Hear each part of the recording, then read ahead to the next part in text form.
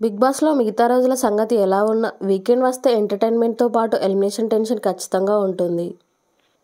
శనివారం అందరికీ ఓ రౌండ్ వేసిన నాగార్జున ప్రశంసలతో పాటు కౌంటర్స్ కూడా ఇచ్చేశాడు. ఇక ఆదివారం ఎపిసోడ్లో బోలెడంత ఫన్ ఇస్తూనే చివరిలో ఎలిమినేషన్ కూడా వేశాడు. అనుకున్నట్లే ఆమె ఇంటి నుంచి బయటకు వెళ్ళినప్పటికీ కాస్త డిఫరెంట్గా జరిగింది. ఆదివారం ఎలిమినేషన్ ఉంటుంది. అయితే దానికంటే ముందు కాస్త హౌస్ అంతా ఫన్ జనరేట్ చేయడం కామన్. ఈసారి కూడా బల్లారదేవ కట్టప్ప అని రెండు బొమ్మలు పెట్టారు.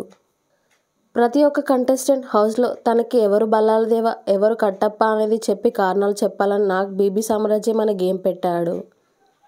ఇందులో తేజ నలుగురికి కట్టప్ప అయ్యాడు. గౌతమ్ ముగ్గురికి కట్టప్ప అయ్యాడు. ఓవైపు ఈ ఆట సాగుతుండగానే మరోవైపు మధ్యలో ఓసారి ఎలిమినేషన్ గురించి నాకు చెబుతూ వచ్చాడు. అలా తొలి రౌండ్లో ప్రిన్స్ రెండో రౌండ్లో రతిక మూడో రౌండ్లో శోభాశెట్టి ప్రశాంత్ నాలుగో రౌండ్లో గౌతమ్ సేవ్ అయ్యారు. ఇకపోతే ఎలిమినేషన్ కంటే ముందు కొంచెం గెచ్చే గురు అని నాకు మరో గేమ్ పెట్టాడు. ఈ వారం ఆడిన రణధీర మహాబలి గ్రూపులని ఇందులో అలానే పార్టిసిపేట్ చేయమన్నాడు. దీంతో మాయాస్ర టాస్క్లో ఓడిన మహాబలి టీం ఇక్కడ గెలిచారు.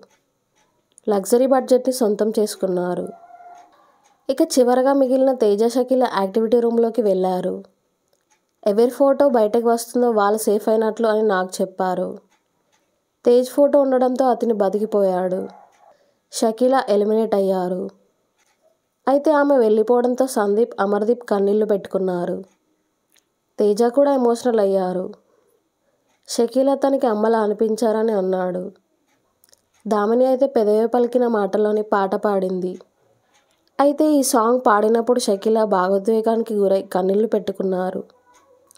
అలా వెళ్తూ వెళ్తూ హౌస్ మొత్తాన్ని ఏడిపించేశారు. అలా ఆదివారం ఎపిసోడ్ పూర్తయింది.